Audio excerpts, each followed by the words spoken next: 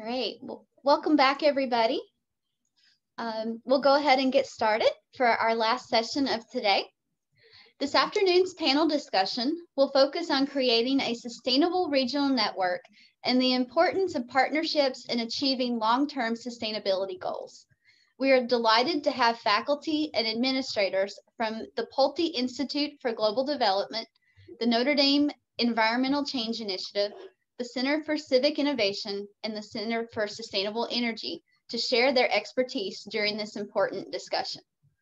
Our moderator is Carol Mullaney, the Senior Director of the Office of Sustainability. In her leadership role, she, for, she focuses on partnerships with campus groups and individuals to advance the university's comprehensive sustainability strategy. Prior to coming to Notre Dame in 2010, Carol spent 10 years directing process improvement programs and leading strategic and executive level transformation pro projects for the Fortune 500 company, Pitney Bowes.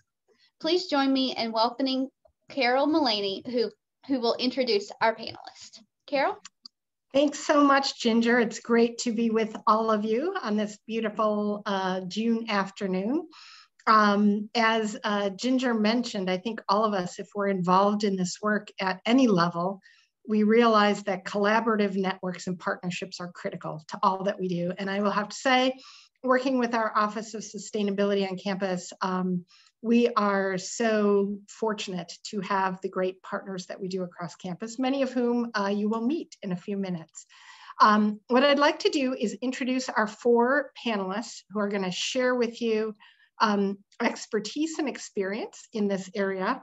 Um, I will conduct the introductions at the start, um, and then we'll turn it over one at a time to each of the four to share some insights uh, with you. Um, and then after all four have done that, we'll have time for some conversation and questions. If you do have questions during this time, feel free to put them in the chat or uh, when we get to that point in time, you can simply raise your hand and um, you know we can have that conversation at that time. Um, so I would like to uh, introduce our esteemed panelists. Um, first will be Tom Purekal, um, who is the program director within the Pulte Institute for Global Development's Innovation and Practice Division. His extensive programming and project design experience encompass sectors such as peace building and governance, education, disaster risk reduction, and water sanitation and hygiene. He is also a term assisting teaching professor within the Keough School of Global Affairs and directs a large USAID funded global education research initiative called Supporting Holistic and Actionable Research in Education. You're gonna see a theme here with all these introductions and that each of these talented individuals has multiple roles. So I'll move on to our second introduction, and that is Danielle Wood. Danielle is the Associate Director for Research in the Center for Civic Innovation at the University of Notre Dame, and also the Project Director of the Notre Dame Global Adaptation Initiative, affectionately known as ND GAIN, which is a key program of the Notre Dame Environmental Change Initiative. ND GAIN works to enhance the world's understanding of adaptation through knowledge, products, and services that inform public and private actions and investments in vulnerable communities. Our third panelist will be Jay Brockman. And Jay is the director of the Center for Civic Innovation and professor of the practice in the Department of Computer Science and Engineering. He has broad experience in innovation in both academia and industry. He is the author of an introductory engineering textbook and has won several awards for teaching. He is also a co-founder of Emu Technology, a company with a patented, patented architecture for big data analytics with offices in South Bend and New York. In 2018, he received the Grenville Clark Award from Notre Dame, given to a faculty member whose voluntary activities advance the cause of peace and human rights. And then our fourth um, speaker is someone you all know well because uh, you have met her throughout this afternoon if you didn't know her before, and that is Ginger Sigmon. Ginger joined the Center for Sustainable Energy at Notre Dame, which is known as ND Energy, in July 2014 as the managing director.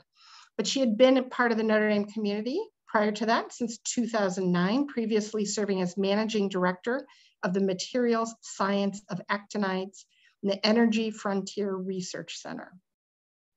Under the direction of Peter Burns at the University of Notre Dame, Ginger received a PhD in actinide materials in 2010 she received her bachelor's degrees in chemistry and geology from North Carolina State University. So welcome to all of our panelists. Um, I am going to start and turn uh, the microphone over to Tom Purekal, who's going to share with it, us some of his insights and work. Tom? Great. Thanks, Carol. Can you guys hear me okay? Great. Good. Um, pleasure to be with all of you today, and thanks for allowing me to, to join you and to speak today. As, as Carol mentioned, I work with the Pulte Institute for Global Development. The Pulte Institute works across this intersection of research, policy, and practice, and uh, tries to translate research uh, to be um, have a have a greater effect and impact in decision making, and um, particularly on the on the policy and the practice side. So uh, that's a lot of what I do, and uh, as especially as we kind of think about this goal of carbon neutrality and and some of the the real obstacles that stand in our way, but opportunities as well. Uh, two two concepts I'd like to really put forward to focus on are, are really think at the systems level and to consider uh, the social implications of, of much of the work that we would be doing and, doing, that needs to be done across the space. So uh, I now I don't know if you guys can see my slides, Barb. Can you present them? Oh, great, excellent. Thank you very much. Um, you can go to the next slide. Great, thanks. So I say the, the best image and analogy that I can think about when we think when we consider the environment and um, this this broad network of complex systems is, is the human body. Uh, and, and considering that, like the human body, societies are more than just the sum of any individual organ or system, right? So, and it's it's it's really interesting when you think about um, the way that our nervous system works in in conjunction with our digestive system and how many of these functions we don't need to think about. But when something happens, then the whole system can go awry. Uh, and I and I bring this up because if if we're really going to make sustainable and high impact changes with regards to environment and in this front of sustainability, we need to be looking at the very DNA of the system and, and look to affect it at that level. Uh, and this calls for us to, to consider the, the larger system at, at, as a large and at, as a whole and, and consider the effects that we're having um, uh, across the board.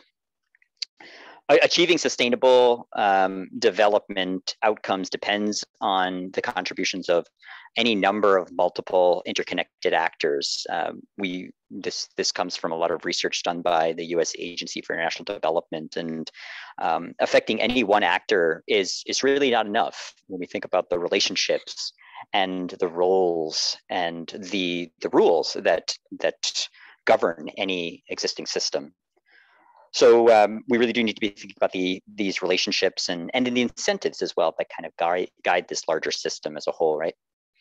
Um, this requires thoughtful engagement with many segments, considering the, the large ecosystem of actors that are involved and, uh, and ensuring that technical innovations and social reforms produce positive and lasting changes by being inclusive and, uh, and considering the broad range of, of actors that are involved. So, um, and that economic development alone which is which is important in order to make sure that systems can be sustainable ultimately or changes in systems can be sustainable that in and of itself is not uh, a sole indicator to consider particularly if those economic reforms and changes that happen um, are not taking place ubiquitously and including people across different social circles. Next slide so when we think about these systems, um, I, I, what I'd like to demonstrate by this slide is the, the broad interconnectedness um, of these various um, systems. And it looks like uh, one of my images didn't capture towards the end. Oh, there it is. Great, thank you, teacher.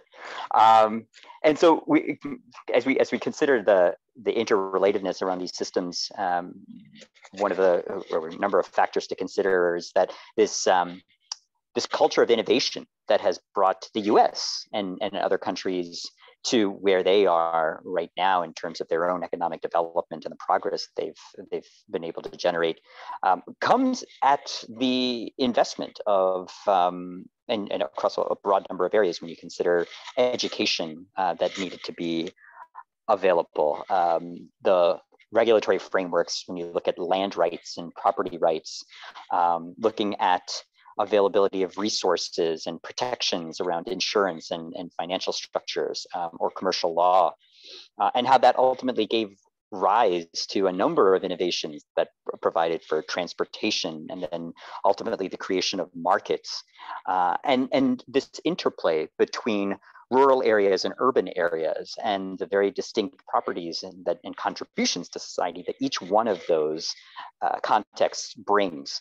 Um, for those with a trained eye, they'll notice that the images in the lower right hand corner uh, are actually of Sichuan, China, which has evolved uh, incredibly over just the past 30 years. That first picture is what it looked like in the 1980s. And when you look at the, the current picture of where it is right now, you can see that a lot of these systems and, and changes are dynamic, right? So we need to be able to evolve and change as, as we consider the amount of um, that of, of what exists now, but what could be in the future and being able to adapt to these changes and, uh, and, and make sure that um, that there's broader inclusion across the board. Um, and, and so a lot of this really considers the, the fact that um, the, again, this interrelationship and this interplay between the different actors and the, these kind of these systems that are operating within the larger complex system, right? So next slide. Great. Now the reality is unfortunately that the world is experiencing a widening gap in inequalities, particularly on the income level, right? So approximately 1% of wealth owners in a country is usually um, usually commands about 25 to 40% of the wealth in, in that country.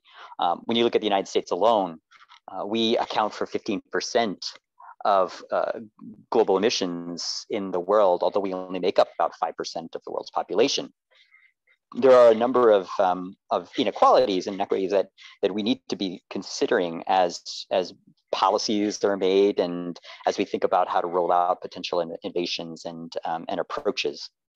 Uh, Latin America, unfortunately, our neighbors to the south are one of the more unequal regions in the world, uh, where approximately 10% uh, of the, the, kind of the richest 10% have amassed about 71% of the region's wealth. And that includes land in particular. Uh, and those numbers are as 2014. These growing divides only speak more to the fact that many of the changes that we're trying to make, uh, in particularly uh, around environmental reform and, and, um, and kind of thinking about the systems involved to that, are, are only leading to greater inequalities and um, how that's a that's a really strong and important indicator of, of the kind of the work that we need to see take take form. Um, and the the other reality is that regions that are most susceptible and vulnerable to climate changes right now are those with the lowest carbon footprint. Um, so when we look at the the poor in particular, um, that they're they may not be consuming as much um, certainly not emitting as much, but they're usually on the more vulnerable uh, land areas, whether they be kind of downstream uh, or downhill areas that are more prone to flooding. Many times they've got to be along coastal areas or rivers based on livelihood needs that, that can also contribute to uh, or, or experience high degrees of flooding um, with little insurance and safety nets to support them the way that uh, that would help them uh, recover and become more resilient and adaptable uh, should they or once they experience these these either natural or man-made shocks that usually happen particularly in um, countries that are still uh, in, in a, a, a, higher level of development. Uh, so that's something that uh, we kind of think about this adaptive capacity and, and the need for uh, building resilience and, and reducing vulnerability of some of these societies uh, as we consider changes to the environment and, um, and in terms of like this goal as well of uh, carbon neutrality.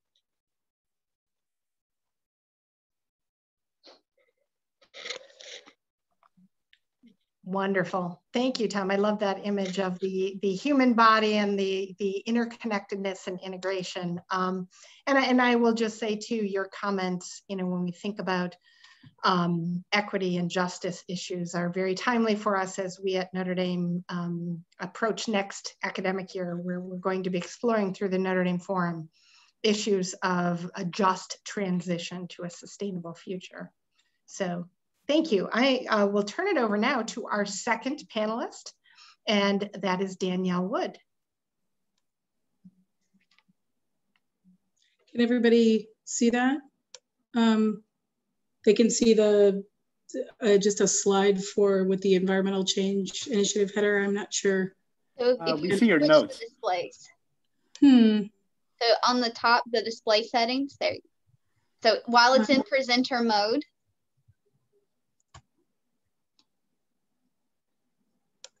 Do you see it? Yes. All okay. good now. Super. Um, so, um, hi everyone. Uh, as Carol mentioned, I'm Danielle Wood and I wear two hats at Notre Dame. Uh, mainly, I'm the Associate Director for Civic Innovations uh, for Research at the Center for Civic Innovation, but I also serve as the Program Director for the ND Gain at the Environmental Change Initiative. And um, I'm here with my ECI hat on, and we'll focus on some of the specific activities at the Environmental Change Initiative that I'm connected to. Um, and if you'd like to learn more about some of the research areas, I, I encourage you to go to the ECI website. But um, starting kind of just with a broad overview of ECI, the, the Environmental Change Initiative uh, focuses on contributing to solutions to complex environmental challenges with a focus on minimizing the trade-offs between human welfare and environmental well-being. And what that tangibly looks like might be a, uh, a researcher uh, of water quality working directly with a farmer on best management practices to reduce uh, runoff on their fields and understanding what some of the barriers to the, the farmer working on that would be rather than working on policy that would just mandate different practices by the farmer. So um, ECI captures this idea with the phrase science serving society. And in doing this, ECI builds interdisciplinary and multi-sector collaborations to develop and translate environmental and climate related research that benefits society. So uh, the focus areas for this are diverse, but they include everything from climate change and ecological forecasting, agriculture and freshwater ecology, um, hydrology and water resources. But in short, many of the areas that are in the, the domain of ecosystem services.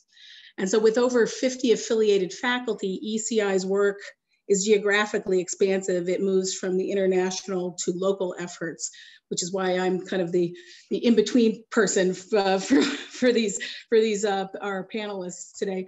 So um, I'm gonna focus on the information I'm, uh, I, am providing in the space of climate adaptation, because I think uh, there's opportunities here for thinking about mitigation and adaptation together, or as Professor Haverkamp mentioned, um, that idea of co-benefits. So we can build regional resilience and education and research opportunities while contributing to carbon neutrality through carbon offsets and better planning. And that's kind of because um, the tools that I work with focus on adaptation, that's where I'm going to kind of focus my conversation just now. But this is this is clearly a much broader conversation. So in addition to its other work, the Environmental Change Initiative, as mentioned, holds decision support tools for climate adaptation, and they include this Global Adaptation Index, or as Carol mentioned, ND GAIN, and the Urban Adaptation Assessment that just covers US cities, the UAA.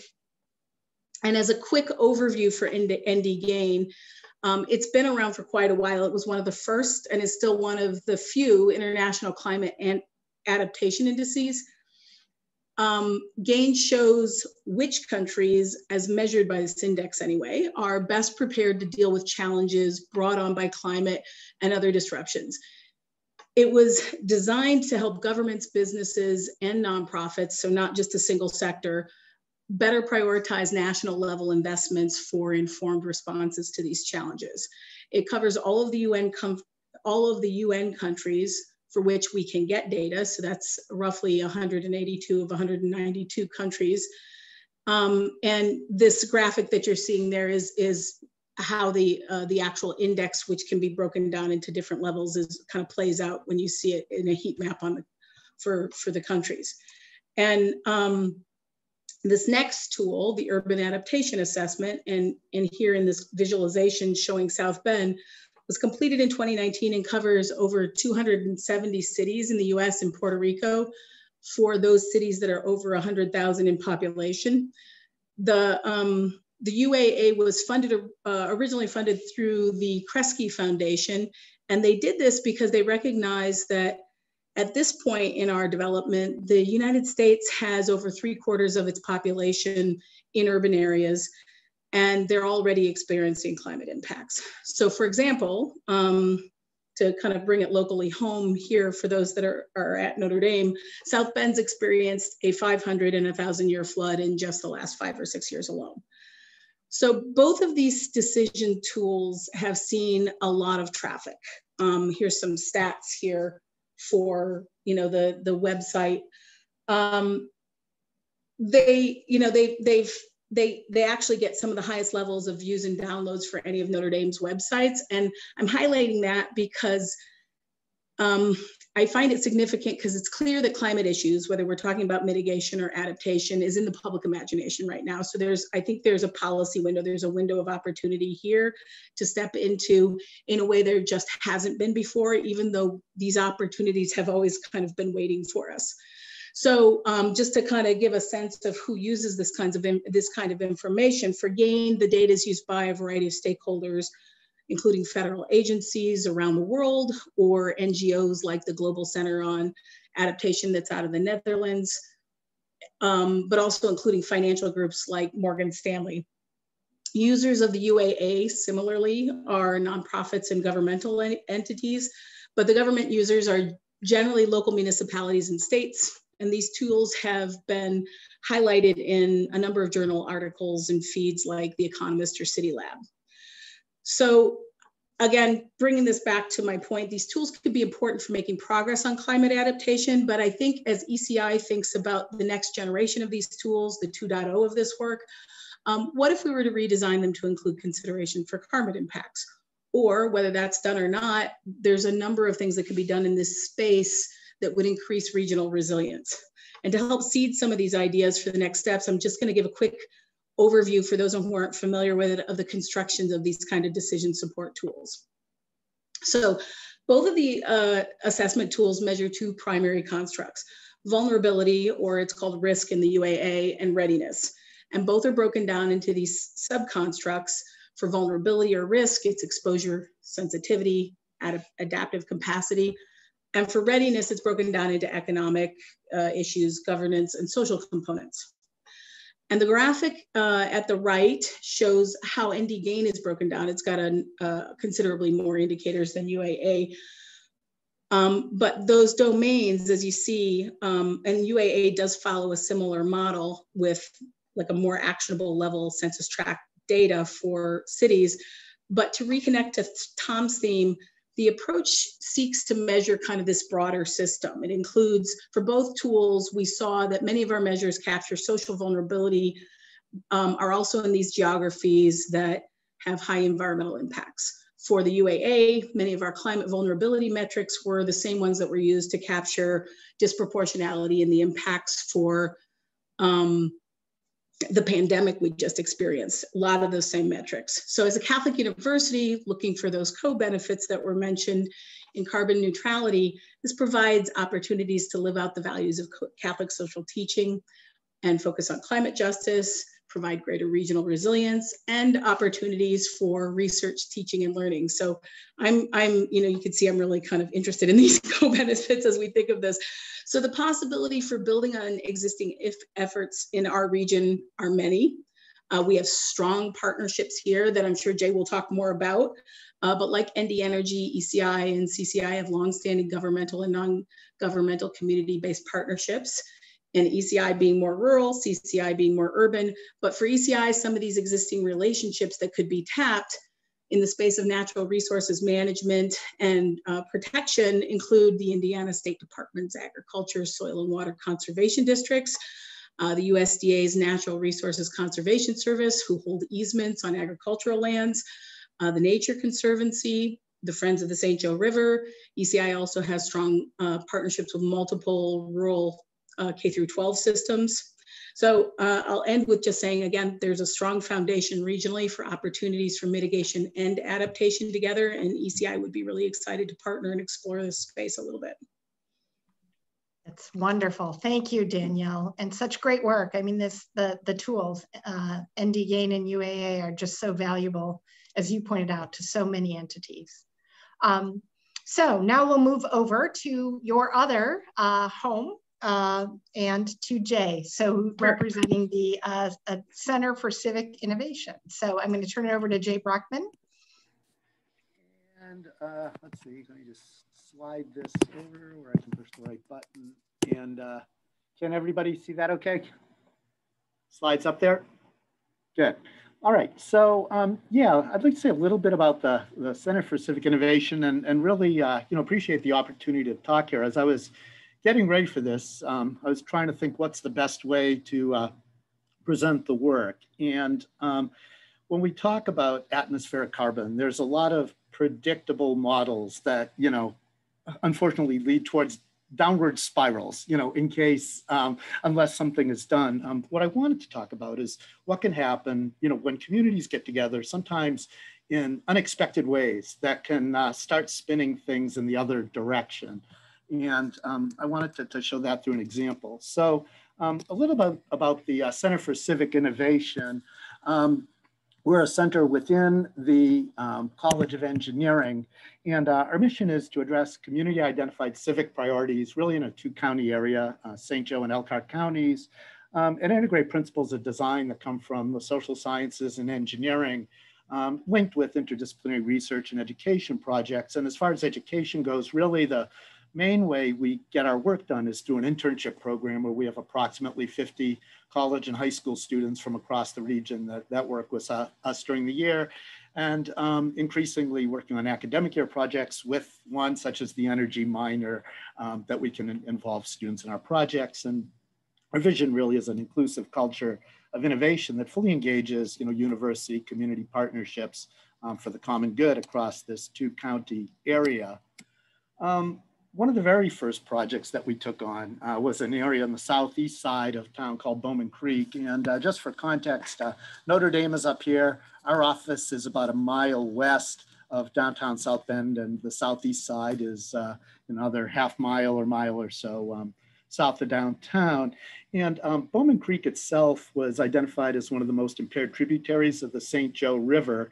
Um, and it was something that the Department of Public Works had been concerned about. Um, through our internship program, uh, we started going door to door, you know, to to residents and um, asking, you know, what their vision might be for the creek, what might we do, and the most common response I got was what creek?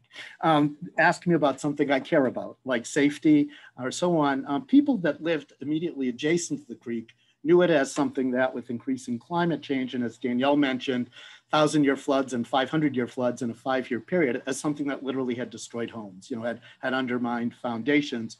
Um, people that didn't live adjacent to the creek didn't necessarily know it was a creek because of some bad engineering decisions. It would not only flood, but it would also run dry. It had been um, rerouted and it was often viewed as just a, a, a, scary place, not a place where you would allow children. Um, so with that, you know, background, um, we had our internship program ready to start at a park where the creek goes through, um, which is uh, Ravina Park. We were ready for a picnic with uh, some community groups. The mayor was set to join us. And then the weekend before, Um, there were, you know, over 20 rounds of gunfire, which fortunately, you know, had not um, hit any children, but children were playing in the park at the time. So our, our kickoff picnic turned, merged with a Take Back Our Park rally with neighbors that lived adjacent to the park.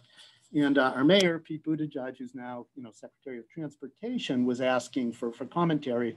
And one of the first things that came through was a seven-year-old girl um, mentioned that this slide right here had a, a, landing area that was a chunk of concrete and something needed to be done about it. And um, that was what was first and foremost on, on her mind. Um, people heard that and kids that were playing basketball said, and yeah, there's no water fountain here, which is true. Um, so our interns and others realized, you know, here's an opportunity uh, to do something. This is a neighborhood that's heard a lot of promises um, and not necessarily a lot of delivery. So a couple of interns got together and did a little bit of quick research on, on playground materials and shredded tires and whatnot and got that fixed within 48 hours. Um, the Parks Department and Public Works, which is kind of no mean feat to get two departments of the city together, so, well, if a seven year old girl can kick something off and some college and high school students can respond in 48 hours, I think we can take care of this drinking fountain problem. And they did. Um, so we had this virtuous cycle that really spun up with a child suggestion at a Take Back the Park rally. And what that led to um, eventually was some serious remediation, you know, with Ravina Park um, that, that turned this creek, you know, into a, a an amenity um, with some bank restoration, which was funded by the Pokagon Band of the Potawatomi, Potawatomi Indians, um, who were looking to do some uh, environmental um, remediation. Um, moving beyond that, this is a city that during Mayor Pete's Thousand Homes in Thousand Days left 25% of the lots um, vacant. Um, found you know an opportunity for some creative adaptive reuse that addresses um, the um, undersized um, urban tree canopy that we have in our region that has you know tremendous impacts um, not only you know in terms of climate and, and energy and, and you know heat zones but is also you know an amenity to a neighborhood there's a piling on of goodwill of neighborhood associations of city government of students of researchers and so on um, which starts to give a neighborhood a sense of promise. And everybody wants to jump on the bandwagon when that starts happening. So fast forward um, a couple of years when United Way was looking, you know, to create a new, um, you know, early childhood center, um, you know, one of the troubled intersections in the southeast neighborhood, you know, was chosen as a location and it will soon um, break ground. So I guess what I want to leave with is that, you know, we're dealing with a set of issues that can feel overwhelming and kind of hopeless and models that predict doom. Um, but sometimes, you know, if you look in unexpected places, and I would argue you can bank on it, you know, if you energize people the right way, you can spin up a virtuous cycle um, that, you know, has the capability to tackle some really challenging problems. That's wonderful. Thank you, Jay. I love that. A virtuous cycle and that it started with a seven-year-old. Um, that's, that's a great, hopeful story for all of us. Um, now we'll move on to our fourth panelist, uh, who's been doing a little bit of everything today, uh, leading us all, and that is Ginger Sigmon. Ginger?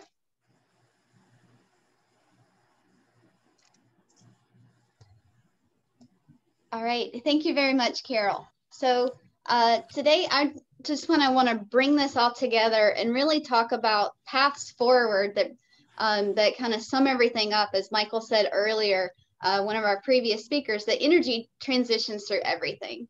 So, um, you know, we have to take responsibility and be more sustainable through all our actions. This starts with what how we spend our money and how we use our vote. We have to say that we want access to renewable and sustainable energy and invest in the clean energy economy. This can be done by investing in renewable energy certificates that help power companies build their portfolios. And you can do this by voting in government officials that will speak up for sustainable energy. We also have to hold companies accountable to create markets that meet zero emission plans. And then they in turn can hold their supply chains accountable for those standards as well. Uh, this also incorporates the responsibility of lifestyle shifts. I'm not saying you have to drop everything and never leave your house again, but pay attention to your consumption, your energy conservation, and food waste. So an example of that is uh, Notre Dame's uh, Grind to Energy program through the Office of Sustainability that's now on campus for food scraps, and also the Food Rescue program where they're supporting a, non, a local nonprofit, Cultivate. So there are many ways we can do this, and personally, you could take this by just starting a compost pile at your home. Um, the next step would be collaborations are critical for uh, getting these things done so at the state and local level. So we need to align our stakeholders to make these sustainable actions happen. These stakeholders can be government leaders, policymakers, community leaders, NGOs and nonprofit groups, and even our neighbors. So we are collaborating with lots of groups across campus. Here at ND Energy, we work with CCI, CCI to connect to South Bend and other community groups. We're working with a nonprofit community center in Puerto Rico to support and promote solar energy. And then we're working with the Indiana Michigan Power Solar Farm to give our students access to that uh, data. So this is building our network of people working toward this sustainable goal. Next is embracing the technologies to make cleaner options cheap for all. This includes the low and middle income countries. So these technologies should lift up the quality of life around the world by getting to net zero and even negative carbon technologies. Sequestration and carbon capture will be key for this. So we're embracing working with our researchers across campus to promote their research in the areas like CISTAR, where they're making synthetic fuels by upconverting light hydrocarbons from shale gas. So we have to keep in mind the comprehensive picture of what must happen to achieve carbon neutrality. Solar and wind power and battery technology are essential to supplying sustainable energy. And so the technologies are out there. We just need to deploy them and keep going. Communication is key. We need to talk to all who will listen and uh, keep the message of achieving carbon neutrality focused, unified, and simple. Uh, this, this includes translating scientific research into e easy to understand language and applications, where we work with the faculty and the students to translate their research to outreach programs that can be accessible to all ages. So we spread the word through a research symposia like this, uh, our seminar speakers, Energy Week, and outreach activities to the local schools and community events. Um, so small actions can uh, add up when people when more people are doing them. And so that can then influence policy changes. So uh, you know large systematic changes are needed to achieve carbon mass or mass decarbonization but we have to start somewhere and it starts with all of us so it starts with me it starts with you every action that reduces our carbon footprint is a step in the right directions uh, so at the university students will pay will have a huge part in this um, what universities do best is to teach students through classes and research, and then they go out and teach others. The, the energy studies minor students are a testament that we are sending students out into the world that are more prepared to have these kinds of tough conversations. So with enough voices on the same path, we can call for policy changes and move sustainability initiatives forward. So I will end with uh, a list of recommended books to help you on your journey of achieving carbon neutrality and a better understanding of sustainable actions that you can do and that you can help others do so that we will have a network of, of stakeholders invested in creating a better world. So uh, just to, to kind of, you know, we've all kind of focused on that think globally and act locally.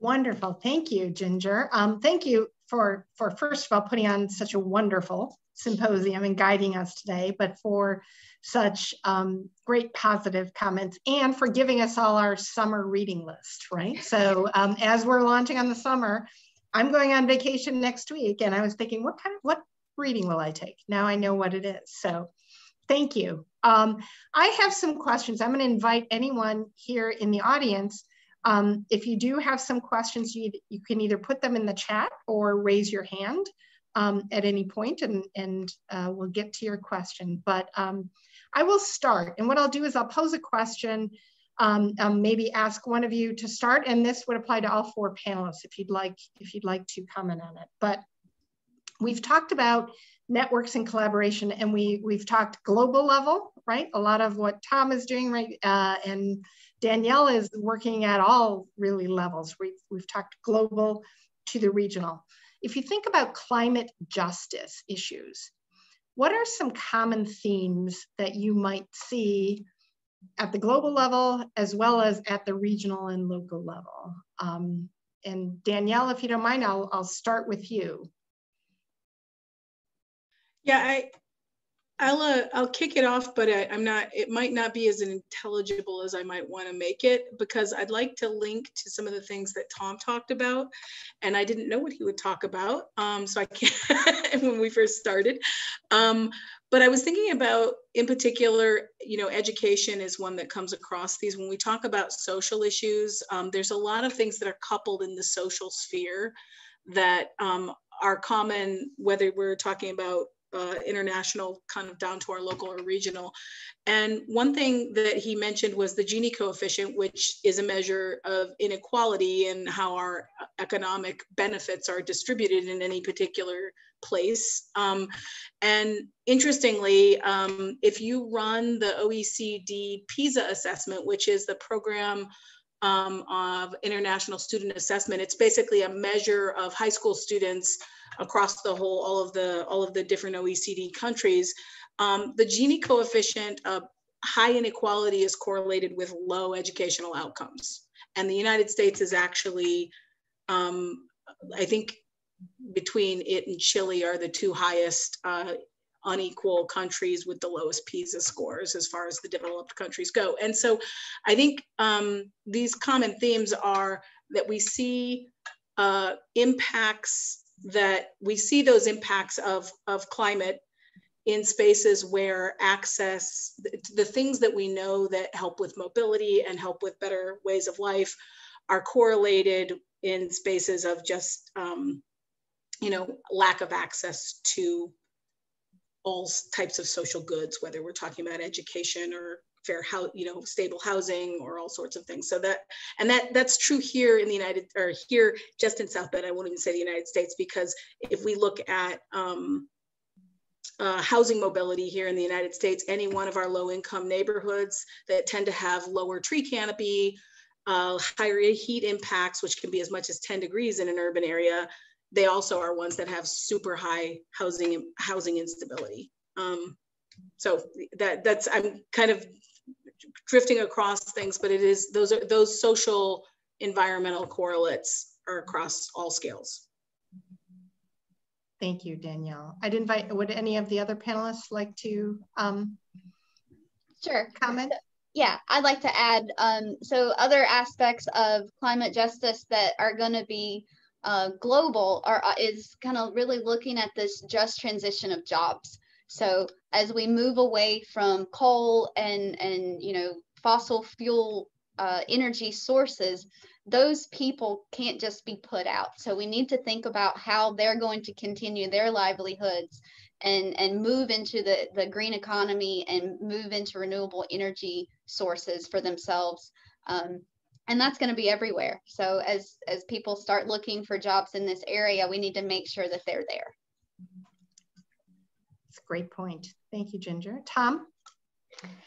Yeah it, th this can go in so many different directions right when we talk about climate justice uh, but I, I, I think one of the big things that i um, have, have really kind of appreciated is the fact that you, you have a, number of people within countries now, within the developing countries or low middle income countries, I should say, that, that, that are trying to um, increase their standard of living, uh, maybe buy a larger house. When I think about uh, my, my own father as a story, like uh, he grew up in a house that was 15 by 15 feet.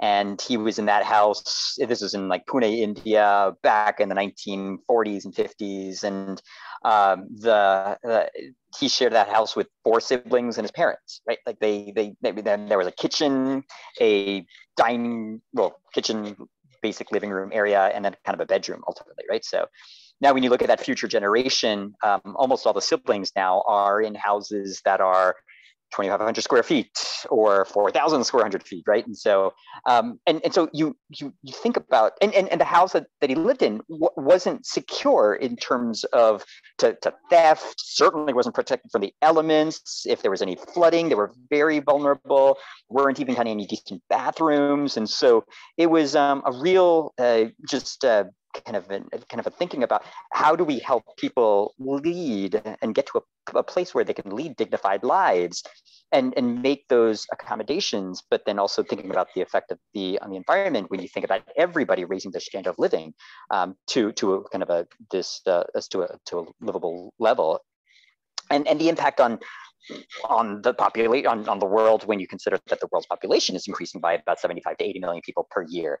Um, and so it really does call on those who have a lot to consider um, the impacts that we're having on the environment and uh, the the the justice issues that come at play when we're helping people to live in like or allowing and, and afford making accommodations for people to live in um, in to achieve a, a, certain standard of living um, what does that mean for the rest of us? And um, and how does how does that affect the the the environment at large right? So. Thank you. Um, so i know we've talked a bit about the um, social factors. And tom i know you mentioned them you know of social factors that are part of this this system if we think about that. Um, and what are some of the other social factors that you all see that um, might impact either either as a barrier or as an aid you know to our goals of carbon neutrality? And tom anything you'd like to comment? And then then any of the others yeah, sure. I'll I'll actually pick up on one of the references that Danielle just made around education. I, I'd one of the biggest ones that we're realizing is the impact that girls' education can have on the environment.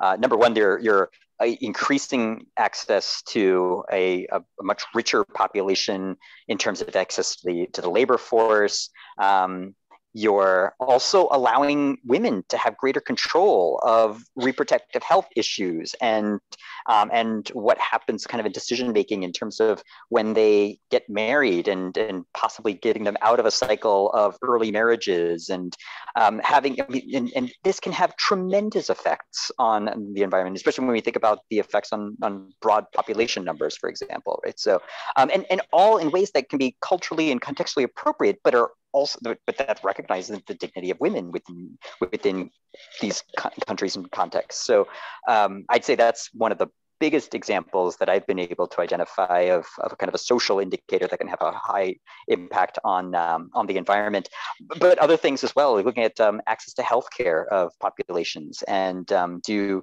are people uh, afforded uh, kind of a, an equitable access to some of these basic services that will allow human flourishing at large, but and making sure that it's done in a, in a way that's that's broadly inclusive, because ultimately that's that's kind of one of the big things, right? When we talk about sustainable development and sustainability overall, it's just um, we want everybody to be experiencing some level of standard of living, quality of life, uh, and so it, it doesn't really help if it's just happening at a kind of a higher tier of uh, society. When I hear about social factors, I think you know I tend to I'm, I'm thinking towards moving that at, at, the very personal level, as opposed to you know some of the, the higher level issues, um, you know, cross-cutting society, and it comes back to like when we um, told people in the neighborhood about Bow, Bowman Creek and hearing ask me about something that I care about. I think you know really understanding at an individual, at a family, at a household level, what do people care about, and carbon neutrality may not, uh, likely wouldn't be one of the things um, that you'll hear. But what do people care about and, and how does it connect? Um, so, um, you know, for example, um, when we look at you know some of the houses in, in some of these neighborhoods in South Bend that are older houses that have lead paint issues, um, but that also have um, you know, leaky faucets and, and poor insulation. You know, um, people care about their utility bills. And, um, you know, so if there are initiatives um, that help people make it through the month that you know add up cumulatively to a net good for society so i think again I, I want to kind of take this the social factors and there are certainly them at all different you know levels of society but understanding it at the individual and the household level i think is is really important and what matters to them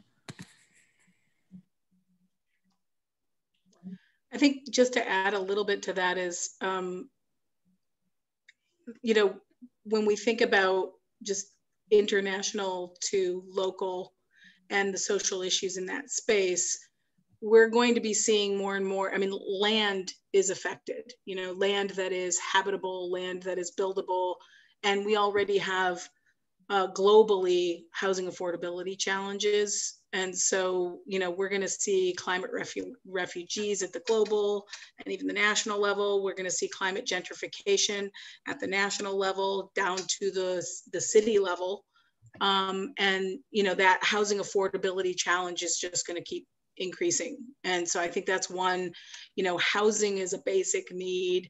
Stable housing affects health, education, a whole host of other things. So I think that's one that we really, the more we can couple that piece, knowing that, you know, as you build green infrastructure and you build you know, restore wetlands for flooding buffers, et cetera, et cetera, you're going to be taking land that was in certain kinds of production out and it's going to be going somewhere. You know, I mean, things are going to, we're going to have to change the way we think about development. Great.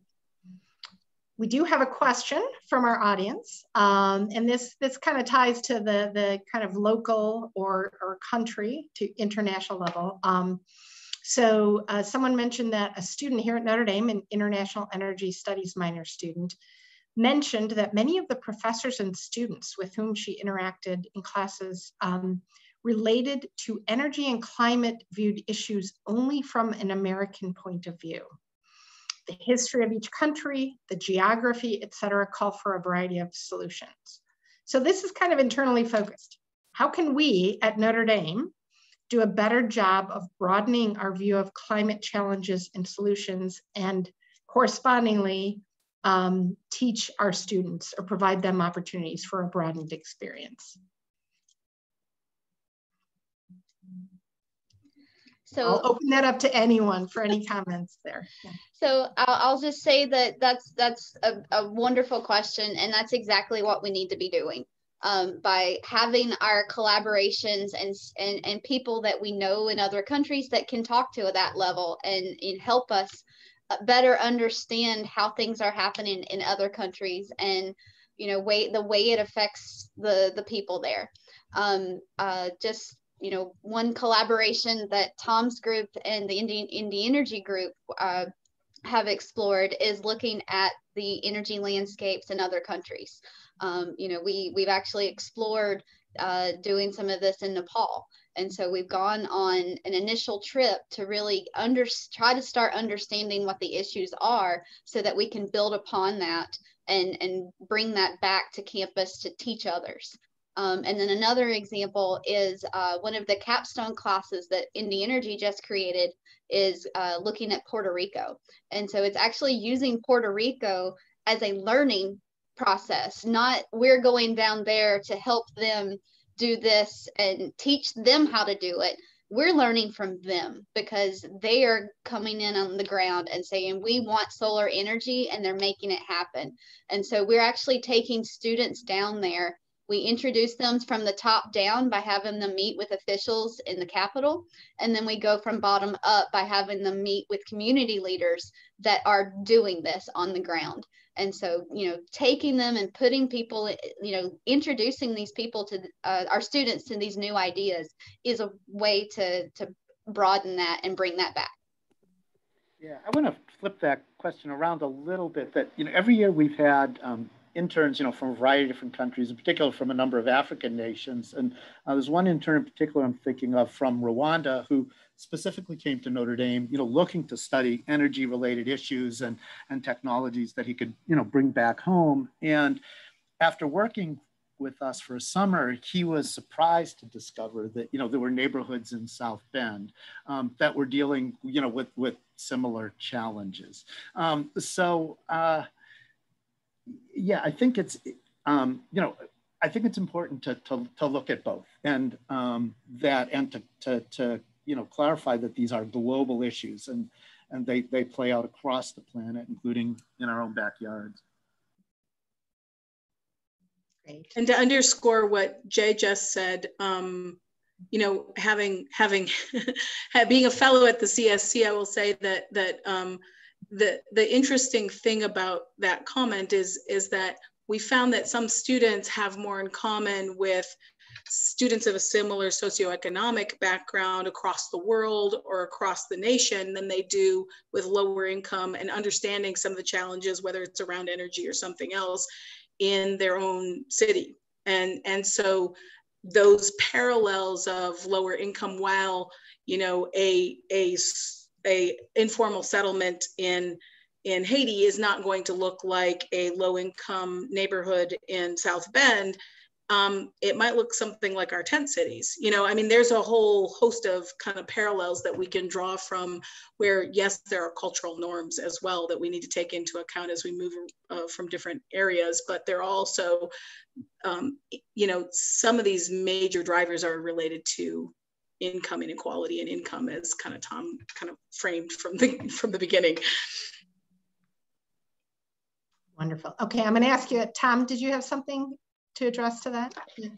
Uh, yeah, I think Ginger and everybody else covered it. That was great. Very good. Thanks. Okay. This is your final question. It's, it's a, a softball here.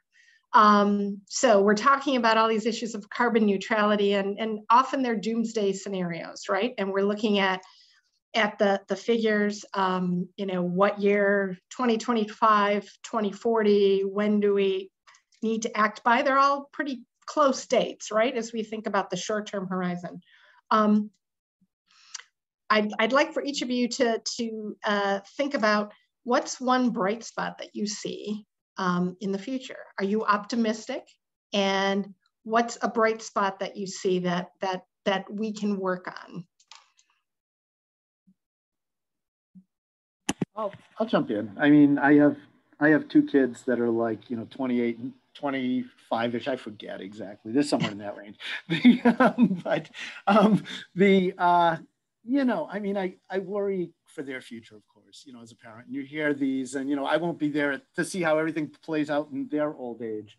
Um, but I am very encouraged by them specifically and their friends and their, their generation um, that um, I think you know they've got a lot on their plates and a lot think a lot of things to face, but I'm not seeing a lot of doom and gloom in the way that they interact, and that gives me hope.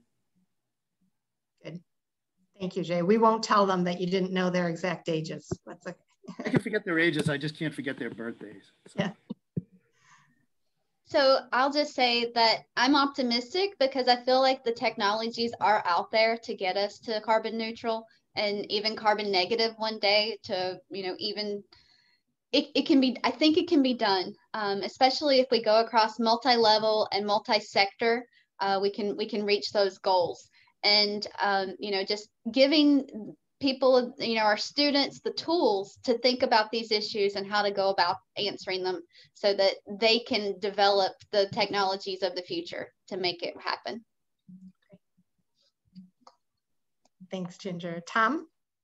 Yeah, I'll say, I think one of the things that makes me hopeful is the, the, the process of doing this can actually be very unitive and restorative in, in some ways when you think about, um, I, I think about like international um, kind of water treaties and um, that you the, the water is is a is a big issue, right? I mean, there's just in terms of the the low levels of it and um, the amount that we use of it, both for food security, food, food security, I mean, agriculture overall, um, industry, healthcare, and just basic consumption, um, in addition to uh, yeah, a, number of other uses. So, uh, but, but, like, we've seen a lot of cooperation happen between countries because they realize they look we, we need to make this work it's an existential issue right so um, so rather than fight over it let's find solutions and uh, and ways that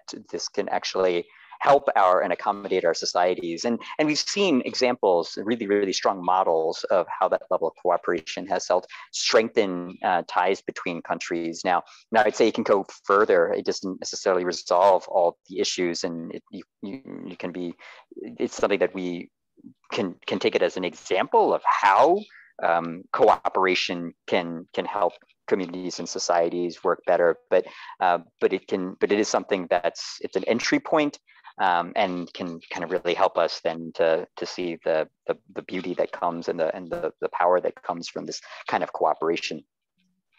Wonderful, thanks, Tom. Danielle, anything you'd like to add to that? Just I think conversations like this, when I hear someone like Mike Weber talking about you know reflecting on thoughtful transition and being mindful of how our solutions could be tomorrow's problems but thinking like these collaborations and looking back at okay now how do we how do we move forward in a thoughtful way that's actually building a more sustainable it just it, it feels like we're in a better place to move forward rather than some of the reactive work that's been done historically because you know, it would have been nice if we'd been having these conversations 30 years ago when I first got interested in this topic, but we're having them now, um, which is good. Wonderful. Thank you. Well, I would like to thank um, all of you, the four of you panelists, um, not only for sharing your great insight and, and expertise with us today, um, but more importantly, I want to thank each of you for the, the greatly impactful work that you are doing um, in your respect, respective areas. Um, we are all the better for it. Um, so thank you. I'm going to turn it back to Ginger, who's going to close us out for the day. All right. So thank you, panelists, and thank you, Carol, for moderating this for us today. Um, and thank you for all our attendees today. We hope you'll join us again for tomorrow's session. Uh, we'll start back at 1 p.m. Hope you have a good e evening.